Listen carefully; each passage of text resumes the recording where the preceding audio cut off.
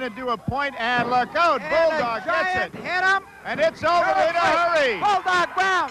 Hey, The illegal hey, tactics don't always work out. Timothy. Sometimes the illegal tactics will. The cheater never prospers is the way it goes, Timothy. And guess what? Your Gonzo and your big boy, Right, Bulldog, is getting on. pummeled right now. Timothy, I'm sorry. I was just showing him the way it was going down. You were showing him the way it was going. You see Guess what? Take that TV set from That is too bad. It's what you call Timothy, what were you you doing live by the up in that ring? Get over here. Frank Sisson, what was happening? Here goes the at the muzzle. muzzle going on. The Now, muzzle is going on fine. To that muzzle going on your the Bulldog, Brown. Well, look at what's And he happening will- up there. The muzzle's on him. That- Okay, Fair Play Pet Stores allowed us to have this muzzle, and it's going to be Bulldogs as he leaves town. There's the money. He won $10,000 grand going up last week. And oh, there goes Timothy Flowers Tim, is in there. He wanted to make it even. The Bulldog looks pretty minute, what is good with the muzzle on. And now we've got new blood in here. Hey, who's he? We don't know who this guy is. What is. is happening here? They're both But hammering boy, in is he ever doing up. a job in the Giant? We don't know The who he is, and there's three people in there crazy on now. this thing. The well, Bulldog I don't with know muzzle what's happening here. is on top, and we don't know who this third guy is. Now, who's this new man this over here? stage, we have no we idea. action all over. There's three on one right now. Who is And this new man? Ring the bell, Tommy. It's over, Hey, here's Mike. Here Lazansky comes coming in to give him a hand. and the. Bulldog goes down. Back And the new guy action. gets I don't know who this new clown is. And Mike is wow, going what a berserk in here. deal.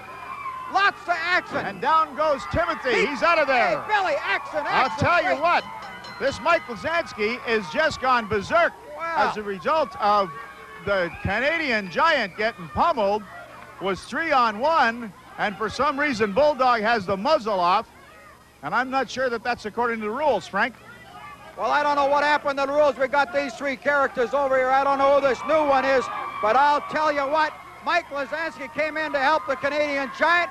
The audience love it. All right, the first Now, thing I got to ask, now. just a minute, I hold on. want you I want- to behave yourself. I'm behaving because myself. if you don't, Just- I just might ju- crack you one right You here. tried that one Yes, I will. uh, You tried Yeah. that one time and you're done, so. I'm saying one thing. I want to know who you are. Nobody knows who I am. That's the sweet thing about it. Surprise! Surprise. Surprise. Okay, so we don't know who it is. you is. one thing. I just hold on. I just Just- I want to ask I want to ask another question before I get to you. All right? What were you doing in the ring? I was showing the referee Ed Langley exactly what you and Frank Sisson sat there and buried the bulldog all night. I was showing the referee that that stinking giant was nothing but a cheating slob. Does it not bother you that your man puts you out? Why are you not wearing a muzzle? You are supposed to wear the muzzle. This is a muzzle match. Let me remind you one thing. What? I won't be here next week because I just heard that I've been issued another week's suspension. But let me tell you something. This guy here, a lot of people don't know him, but I'm going to tell you.